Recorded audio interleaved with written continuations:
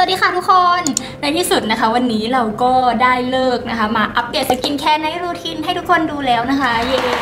โดยคลิปนี้นะคะ พิเศษเฉพาะสำหรับคนที่เป็นสิวโดยเฉพาะเลยนะ ก็เดี๋ยวจะมาแชร์วิธีการ แล้วก็ผลิตภัณฑ์นะคะที่นุ้ยใช้สำหรับดูแลรักษาสิว แล้วก็จะเป็นวิธีการดูแลผิวยังไงให้ผิวแข็งแรงขึ้น แล้วก็สิวไม่กลับมาเป็นอีกนะคะก่อนอื่นนะคะ ก่อนที่เราจะไปทำอย่างอื่นเลยนะสิ่งที่สำคัญที่สุดของการดูแลผิวที่เป็นสิวรักษาผิวที่เป็นสิวเนี่ยก็คือการเช็ดเครื่องสำอางนะคะ โดยที่นุ้ยจะใช้เป็นตัวนี้นะคะ เป็น Smoothie Acne Clear Makeup Cleansing Water นะคะ ก็ตัวนี้เนี่ยเป็นตัวที่นุ้ยใช้มา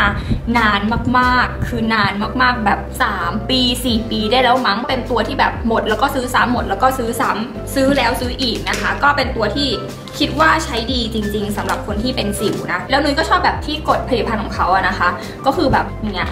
กดไปก็คือได้ออกมา แล้วคือที่นุ้ยชอบของตัวนี้คือ เขาทำความสะอาดผิวหน้าได้แบบว่าดีมากโดยที่เราไม่จำเป็นจะต้องใช้สำลีหลายแผ่นนะคะ ถ้าวันไหนที่ไม่ได้แต่งหน้ามากอะแค่แผ่นเดียวคือแบบก็สะอาดแล้ว แล้วก็ที่สำคัญตัวนี้คือเขาอะสามารถเช็ดตาได้โดยที่ไม่แสบนะคะ ก็เป็นตัวที่แบบอ่อนโยนมากตัวหนึ่งสำหรับผิวที่เป็นสิวโดยเฉพาะเลย แล้วคือตัวนี้นะคะเขาจะมีพวกสารสกัดที่แบบช่วยรักษาสิวได้จริง ๆ แบบช่วยลดการอักเสบของสิว ช่วยลดการอุดตันของสิวอะไรอย่างเงี้ยนะคะแล้วก็ไม่ทำให้ผิวแห้งด้วย คือผิวที่เป็นสิวว่าไม่ควรทำความสะอาดหน้าจนผิวให้ผิวมันแห้งนะ เพราะฉะนั้นเวลาที่เราเลือกผลิตภัณฑ์ทำความสะอาดผิวหน้าเนี่ยก็คือสำคัญมากๆ ต้องเป็นผลิตภัณฑ์ที่สามารถทำความสะอาดได้สะอาดจริงๆนะแล้วก็เป็นผลิตภัณฑ์ที่ไม่ทำให้หน้าเราแห้งนะคะ เพราะฉะนั้นตัวนี้เนี่ยคือโอเคมาก แล้วก็ตัวนี้เนี่ยเขาจะมีตัวเซนเทล่าเอเชติก้านะคะแล้วก็วิตามินอ e, ีก็คือเขาสามารถช่วยลดรอยสิวได้นะ เป็นการทำความสะอาดหน้าไปด้วย แล้วก็เป็นการรักษาสิวไปด้วยในตัวคือตัวนี้โอเคมาก อันนี้แนะนำนะคะ เวลาเช็ดตานะคะ ก็คือกดมาแล้วก็โปะไปที่ตาก่อนแป๊บหนึ่งนะคะ สักพักหนึ่งแล้วค่อยเช็ดออกนะคะ จะได้ไม่ทำให้ตาเหี่ยวนะถูแบบเบาๆก็พอนะคะ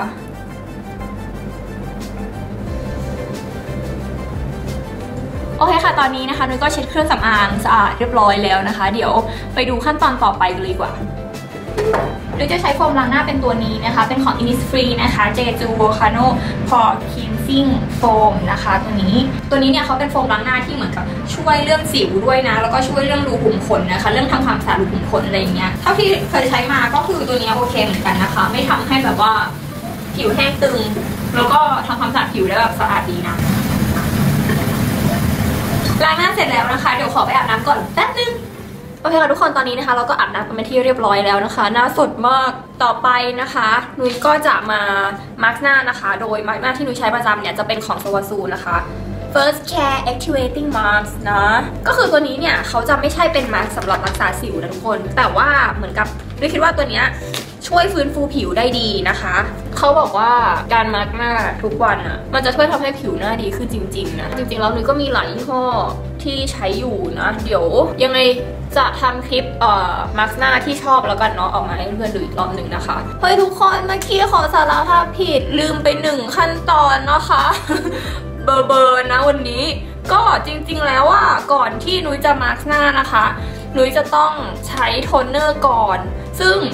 เมื่อกี้ลืมอะลืมได้ไงไม่รู้อะคือโทนเนอร์ที่นุ้ยใช้นะคะจะเป็นตัวของ Kills นะคะ ตัวนี้จริงๆแล้วอะนุ้ยใช้เป็นขวดใหญ่ ซึ่งหมดไปแล้วประมาณ 2 ขวดใหญ่นะคะ แต่ว่าตอนนี้ขวดใหญ่หมด แล้วก็ขวดนี้นุ้ยได้แถมมาจากการซื้อแบบเป็นเซ็ต ของเขาอะแล้วเขาแถมตัวนี้มานะ ตัวนี้เหมือนเป็นแบบโทนเนอร์ที่เป็นสารสกัดจากธรรมชาติมากๆเลยอะเห็นปะคะ ข้างในเหมือนเขาจะมีกลีบดอกไม้อะไรอย่างเงี้ย ก็คือเป็นธรรมชาติดีนะคะ แล้วก็ไม่มีแอลกอฮอล์ แล้วก็แบบรู้สึกว่ามันอ่อนโยนมากเลยอะอ่อนโยนกับผิวที่แบบเป็นสิวอะไรอย่างเงี้ย โอเคค่ะทุกคน ตอนนี้นะคะ ก็ครบเวลาแล้วนะคะ เดี๋ยวเอามาสก์หน้าออกมาสก์หน้าที่เหลือก็เอาไปโปะแขนโปะขาโปะอะไรก็ว่าไปนะพอเอาแผ่นมาสก์ออกก็นวดให้มันซึมเข้าผิว จะเห็นว่าช่วงนี้แบบ ผิวนุ้ยอะเป็นรอยแดงเยอะนะคะ ก็มันเป็นรอยแดงที่แบบหลังจากเป็นสิวนั่นแหละ แต่ว่าสิวหายค่อนข้างแบบเกือบจะหมดแล้วนะ ต่อไปนะคะ ก็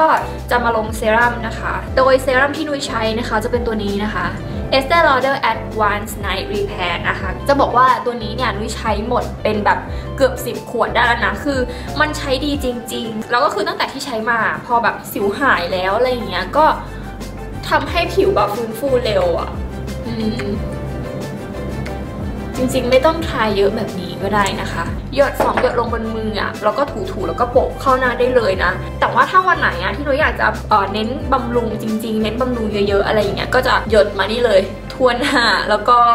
นวดน้องเขาเข้าไปนะคะ ต่อไปนะคะก็จะใช้เป็นตัวนี้นะคะ เป็นตัวใหม่ของคลินิกนะคะ Even Better ตัวนี้เนี่ยเขาใช้สำหรับแบบลดจุดด่างดำนะคะ พวกรอยจุดด่างดำที่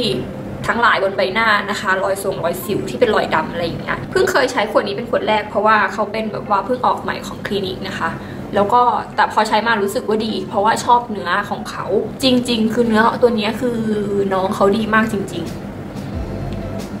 ต่อไปนะคะก็คือตัวนี้ ตัวนี้เนี่ยเป็นเหมือนยาแต้มสิวที่โด่งดังมากนะคะ จากญี่ปุ่น ซึ่งตัวนี้หนุยก็ยังไม่รู้นะคะ ไม่ได้ศึกษามาว่ามันเป็นยาแต้มสิว หรือว่าเป็นสกินแคร์สำหรับคนเป็นสิว แต่ว่าเห็นว่ามันดังอะ ก็เลยสั่งมาแล้วมาใช้อะปรากฏว่าอะไรรู้ไหมดีมาก เวลาหนุยใช้อะก็คือจะแบบโบกไปตรงที่แบบเป็นสิวขึ้นเยอะๆโบกโบกไปเลยนะคะ แล้วก็